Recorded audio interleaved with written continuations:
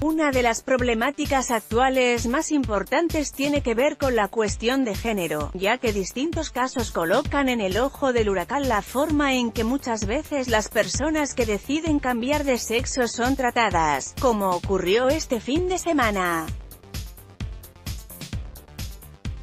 En las redes sociales comenzó a viralizarse un video que muestra cómo una mujer transgénero se torna molesta cuando un empleado de una tienda lo llama señor.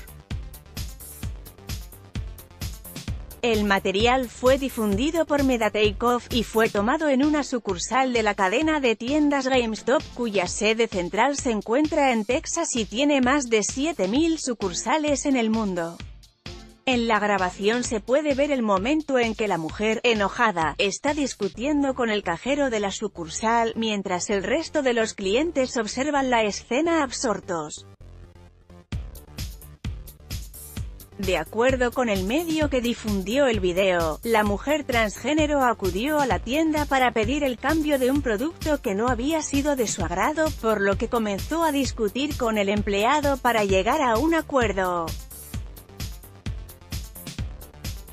Sin embargo, la situación empeoró cuando en un momento el trabajador la llamó señor, lo que provocó la furia de la mujer, pues consideró un insulto la palabra.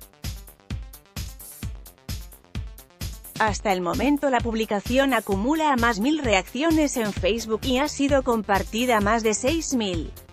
Sin duda, un caso que nos recuerda que la problemática del lenguaje continúa siendo un tema a considerar para resolver los conflictos. Con información de Radio Fórmula, Facebook y La Neta Noticias. Anímate a comentar. Queremos saber tu opinión. Comentarios powered by Facebook Comments.